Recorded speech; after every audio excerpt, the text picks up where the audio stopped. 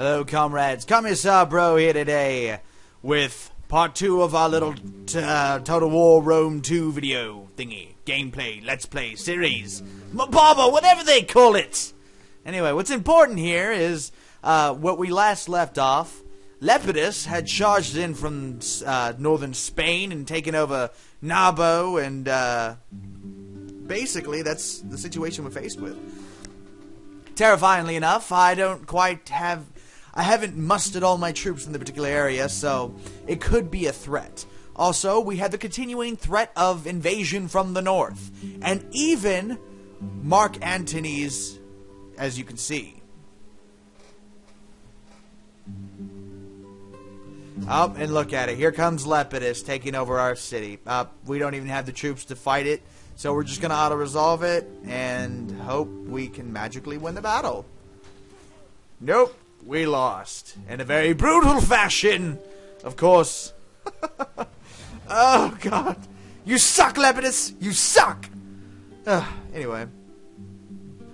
Uh-oh, it looks like the Beljave coming from the north for Trevorum. Uh, Trevorium, or whatever it's called. I don't know. Anyway, we're gonna need to raise an army, definitely. Definitely. I didn't want to have to do this, but... Uh, that's a threat that I am not ready to face. I'm really not. So we're gonna go ahead and bring out the uh, veteran legionnaires rather than the legatus, because uh, I need staying power rather than um, uh, DPS in this case. Let's go ahead and try to scare them off too by recruiting a mercenary army and upgrading it. Yeah, that's right. That's right. You're not feeling now so brave now, are you, Belj? That's right. You stay in your borders! Bastards coming up in here thinking you own the place. I am Rome! Anyway. Jagovia, yeah, a little bit of this. I wish I had more money. One of my biggest problems right now is the, a lack of money. Mm.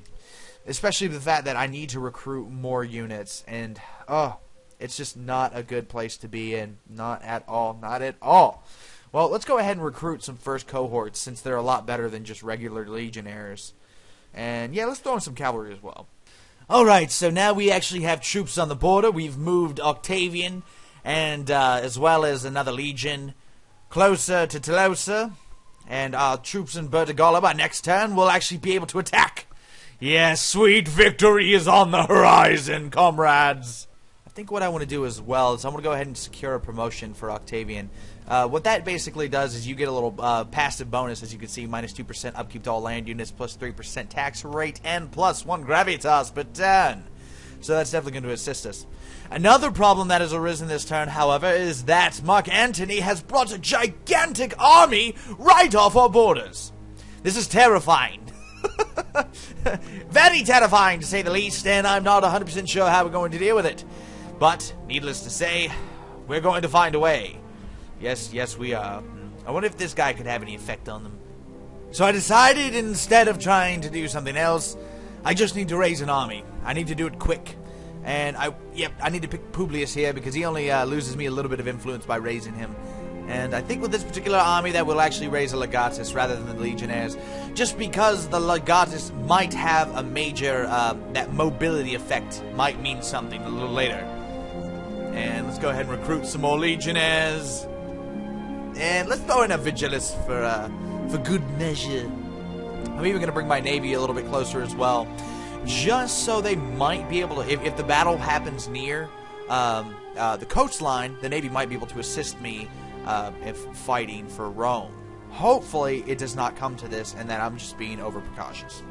In the meantime, Octavius, forward into Narbo. Well, maybe not yet. Let's go ahead and bring up the secondary general first, just to make sure he's backed up. I wouldn't want to be uh, be uh, surrounded by my enemy in a in a vast wasteland of snow. Yeah, ambushes are never a good thing.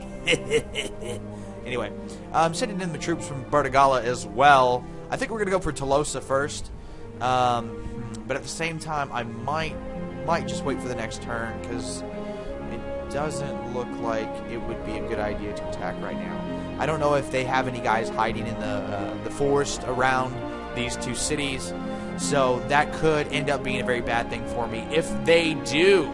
A new day, a new dawn. To Tolosa, brothers, we will reconquer. Yes, for sweet Rome. We will be united. Octavian. Sorry, I'm kind of, kind of excited.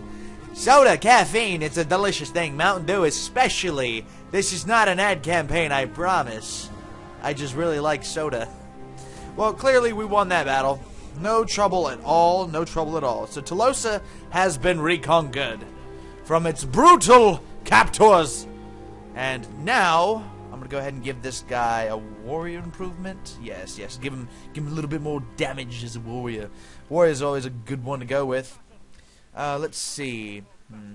I think it's time to move upon Narbo to reconquer what was lost. To Lepidus, that sick leprosy-filled beast. Yes, yes. Move forward, Octavian. You're going to support your ally here. All right, all right.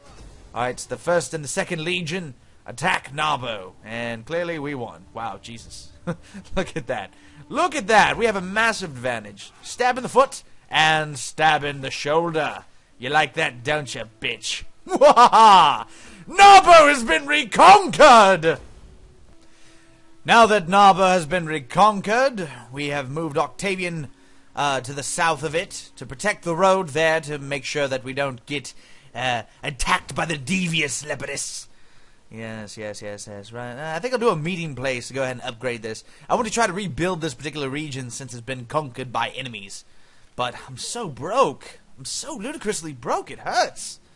Uh, anyway, uh, let's see. What should I upgrade him as? I think I'll do commander for him. Get him some of that like that morale boost. I think is uh, what commander will do. Uh, let's see. Eh, yeah, it increases of influence, so on. Whatever. All right, so that worked out nicely. Uh, and as you can see, we've got Octavian down here, and we need to go back to Rome where we are needed. Uh, let's see, let's see. Uh, our new army has been raised right outside the city walls. Mostly legionnaires and a group of Vigiles. It's not big. And here Mark Antony's army is. Terrifying as it is. Can I do any type of subversion? Slow him down, maybe? Is that possible? Mm, nope, nope, nope. Not gonna happen. Not gonna happen. That costs money. I have no money. I guess I'll just move him over here a little bit and keep him doing with the military further nonsense.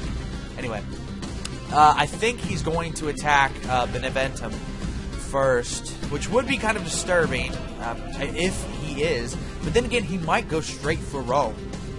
Alright, so it is now a new day. Uh, we've got consecrated ground in Rome. Good. That public, public opinion up. But as we can see, he did bypass Beneventum. And again, I don't know if he's actually going to attack, but I don't think I can uh, risk risk not attacking him now.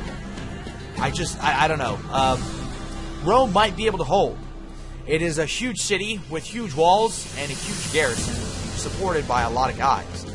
But I have a huge advantage if I attack him now. Uh, I think my garrison should get involved in the fight, and hopefully my boats will too. And this might be the best time to attack him to maximize damage. I think we need to do it. Let's do it. Oh, wow. They've got a lot of allies. I guess I don't care, though, do I? I'm coming for you! Oh, yeah, look at that. The garrisons are here! So we get an additional 3,000 troops to assist in our battle. We've clearly got the advantage.